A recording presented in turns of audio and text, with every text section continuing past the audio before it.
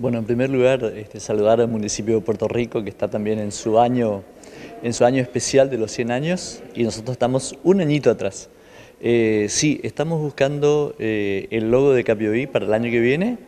y eh, la idea es promocionar en estos últimos días, porque este viernes próximo, el viernes 27, vencen los plazos para presentar el diseño, el logo. Hasta las 12.30 de este viernes vamos a recepcionar los trabajos aquí en, el municipio, aquí en Mesa de Entradas, y a partir del lunes comenzamos a trabajar con el jurado, que va a ser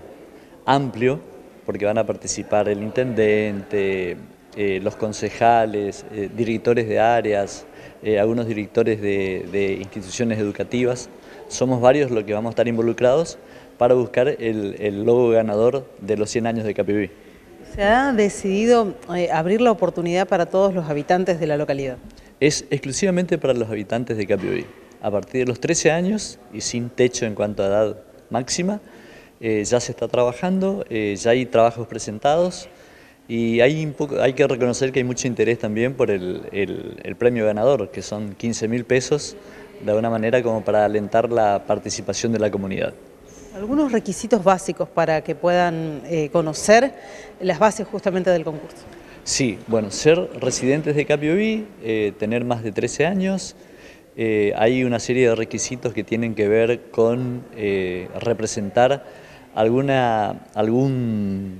parque natural o artificial hecho por el hombre, el caso, acá es un ícono, la torre de la iglesia, eh, hoy se suma la plaza, se suma la municipalidad nueva, está obviamente el Salto Capioví, los cursos de aguas, está AstroCap, hay un montón de referencias que se pueden utilizar para el diseño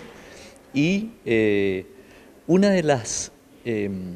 una de las cosas que les proponemos a los que diseñan es que el logo ganador sea dibujable. ¿Qué significa esto? Hoy por hoy con el tema del diseño gráfico, de computación, uno puede hacer maravillas en la computadora, pero eh, por allí a la hora de decirle a un chico de cuarto grado, de quinto grado, que dibuje el logo de Capioví, y si es muy complicado, este, no, no lo pueden plasmar eh, en el dibujo y dejan de practicar justamente esa parte que nos interesa, que es que sepan manejar nuestro logo eh, lo mismo que el requisito para una bandera, cuando tienen muchos colores y cuando tienen muchos diseños internos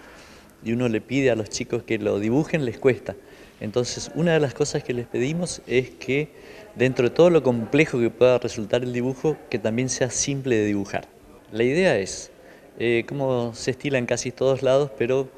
eh, sacar el dibujo del sobre, solamente el dibujo, y a partir de allí todos vamos a manejar ese dato para poder trabajar los jurados. Y lo que sea sobre con los datos personales se va a abrir recién el día que se elija el logo ganador.